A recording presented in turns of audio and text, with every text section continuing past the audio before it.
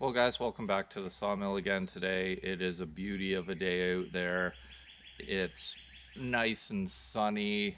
There's some clouds in the sky, but not a whole lot. And it's warming up quick. Can't believe it, but might even be the first day of the year I have to go down to a t-shirt. I'm not quite there yet, but uh, it's still early in the morning, so by around noon or something, I might be down to a t-shirt. But anyways, name of the game today is I have this cherry log sitting on the mill.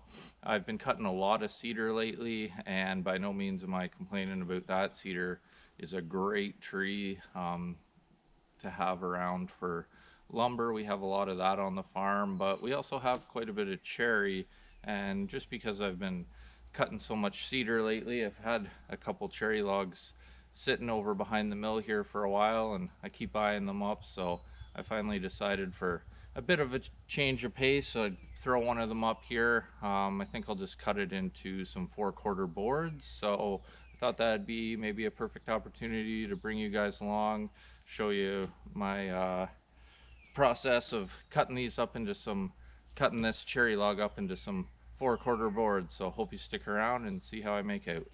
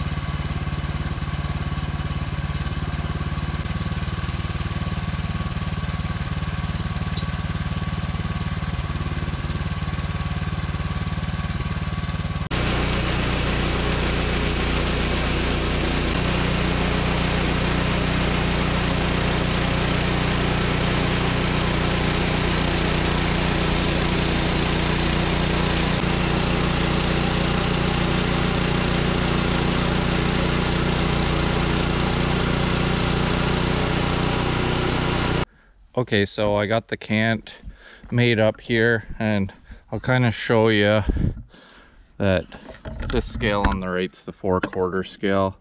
Uh, so that's what I'm using to saw this cherry up right now. This gives you four quarter boards, which end up being about an inch and an eighth thick each. And you can kind of see what um, the way you have it set up is the top of this it kind of works in reverse, but the top of this scale it is uh, an indicator of the bunks. So the top of this scale is a measurement right down to the top of the bunk there. So I know that from the top of the bunk and because I have my marker set up right on the top of the log right there, I know that I can get seven four quarter boards from where I am now. So now that I got this all done, um, like I purposely cut it at seven. Like you can notice that there's like a bit of bark and stuff, but it's just the way that the log worked out. Like to cut the bark off, I might need, you know, to go up to six and a half, but there's not really much point in doing that because then I'll be left with half a board at the end too, if that makes sense. So I'd rather get uh, a full four quarter inch board or yeah, quarter, uh, four quarter board right here now, even though there's some bark on it because I can cut that out after. It'll still be very usable and then uh, I can go from there. So that's why when I'm when you're cutting a log like this and you plan it out, you I always like leave the cant at a mark if that makes sense. So now I know I can just go down to six, five, four, three, two, one, all the way down and take all the boards off and that'll leave me with seven four quarter boards. So that's what I'm gonna do now. You can see the blade there. Crank it down to the six. And that'll be my next cut. And then I'll do five, four, three, two, one.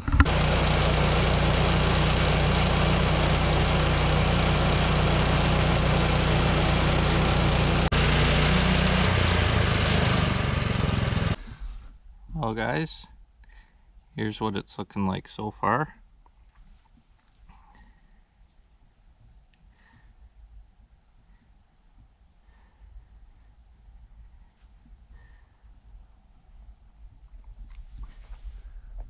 Try to give you a good look.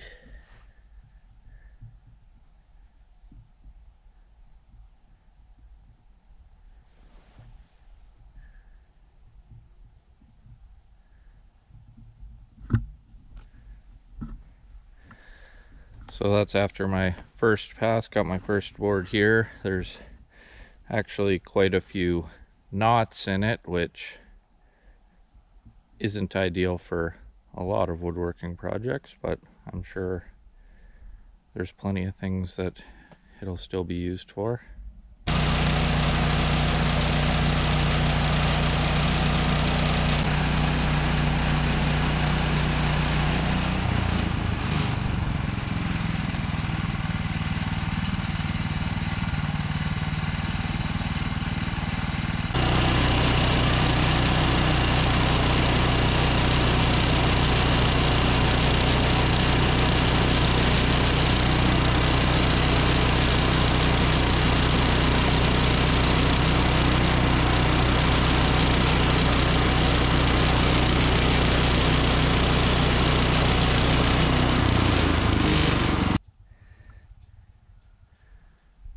Well, there's what we're looking at, guys. Almost through it. I think I've got two more passes to make.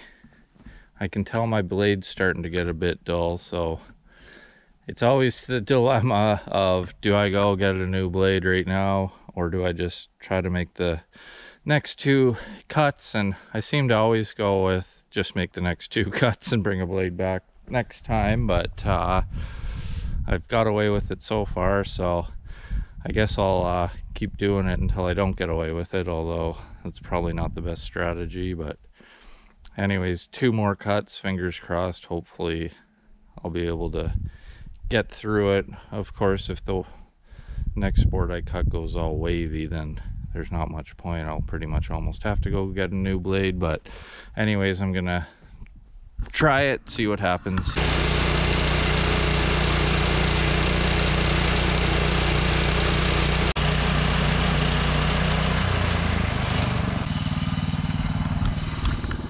Well, I know this kind of stuff's always hard to see on camera, but we'll take a look anyways.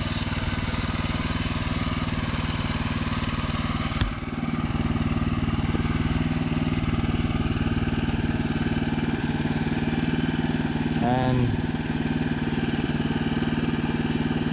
yeah, I can see it just starting to get a few little waves in it and I'm not sure if it's picking up on camera but that that sometimes happens when you go through a knot anyways so I'm not convinced it's because of the blade but it very well could be because I already know that it's starting to go dull but that's uh, well within being a reasonable piece of lumber in my opinion so I think I'll go ahead and cut the last board too and it's also kind of a little experiment on my part because then I can see if the uh, the next one's worse or not. And it's kind of always a learning process in my opinion to you know get the feel for when you should be changing a blade. I'm still at that point where I think think I've got it uh,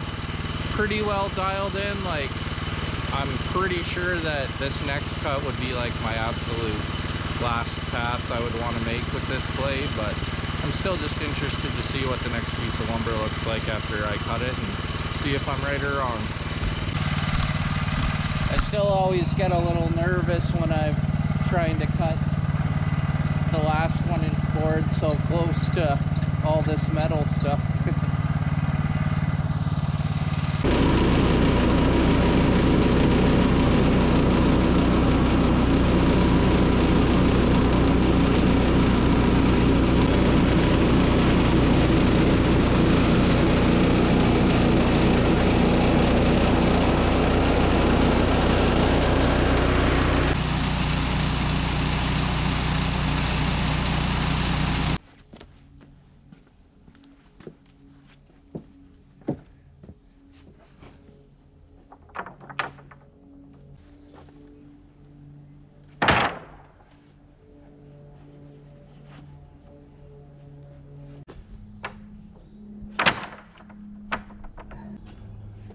All right, guys, got that log added to the stockpile of cherry here. I'm pretty happy with the amount of cherry that I'm getting stockpiled up. Uh, so I've got a lot of four quarter boards here. Underneath, you can kind of see I've got quite a bit of live edge stuff too. So that's pretty neat. That's the first live edge stuff that I ever cut probably a couple months ago now. So getting a pretty good pile of cherry there too. And I guess I could show you over here.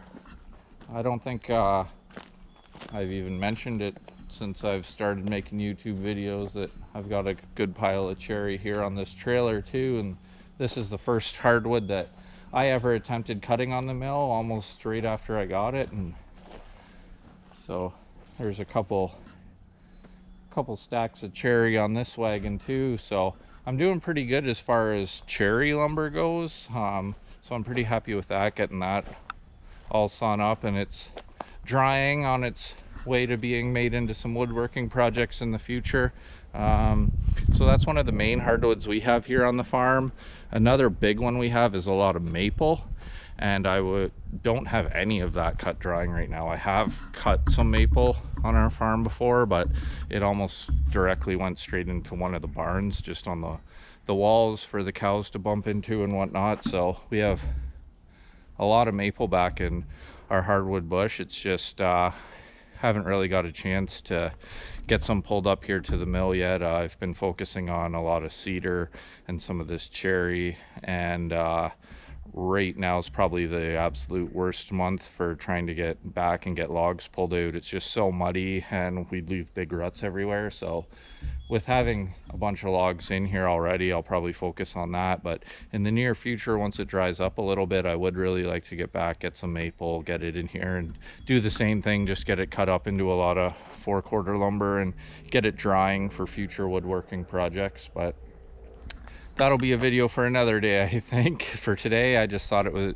thought you guys might uh, like to see how I approach doing a bit of four quarter lumber, just one cherry log there, but got it up on the pile and uh, saw how I approach when a blade gets dull. You can tell, but sometimes you can eke out a few more boards and instead of having to run to wherever to get a blade. Uh, eventually, obviously, I'd like to have a nice setup with a roof or something here that I could just leave blades out back here, but uh, that's not the case right now. So sometimes uh, for better or worse, so far it's been better, but fingers crossed, I just try to push through the last few cuts with the the blade your you know is getting dull you can you can kind of feel feel the pressure as you're uh, pushing the mill through with these. It's kind of a feel thing. So you can tell if you're I think you can tell if you're taking it too far or not. And I was pretty confident I could get those last couple cuts done. But now I know that definitely next time I come back I'm bringing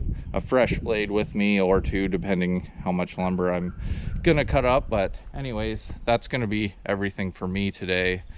I really appreciate you guys watching and I'll see you next time